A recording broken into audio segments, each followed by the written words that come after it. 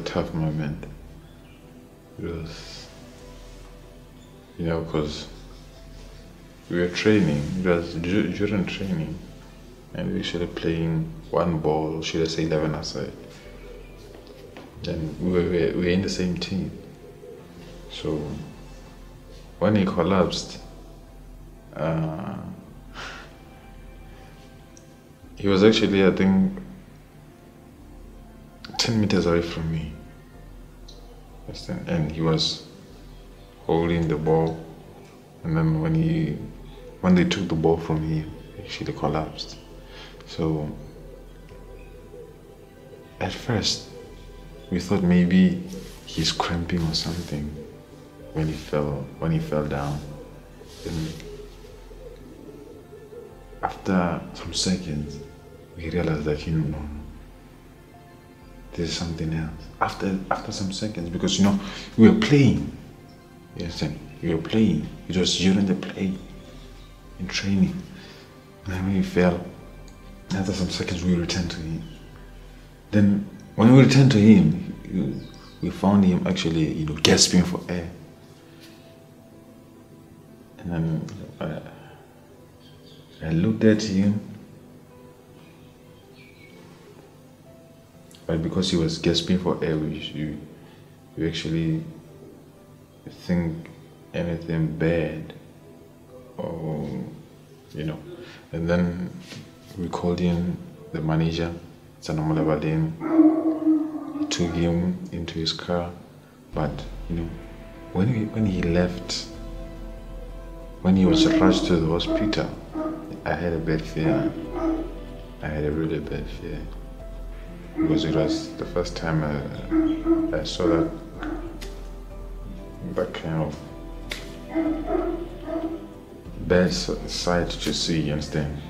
I, I had I had a bad feeling when I actually saw the car leaving, you know, rushing to the hospital.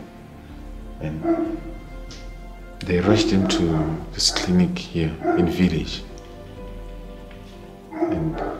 The manager came, and as for us, we continued, you know, playing, continued playing, because when he when he was rushed off, it wasn't bad. Understand? He wasn't mute. Understand? He was still producing some sounds, trying to talk and everything. But it was it was not normal. Like the sight was not normal. And during the training, during the training, we actually trained and the manager came back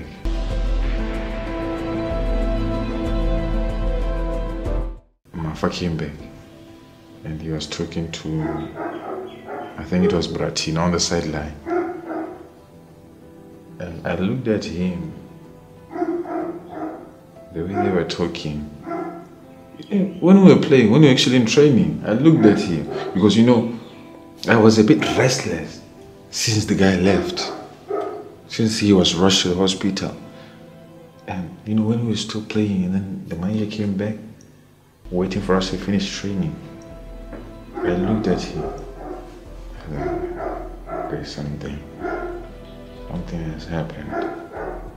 Something has happened. Like from the body language. Imagine I'm looking at him whilst the ball is being played in the field. It's like there's something that has happened.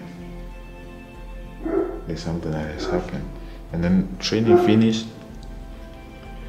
When we were done with actually stretching and everything, when we were about to go to our cars and everything to change, they called us.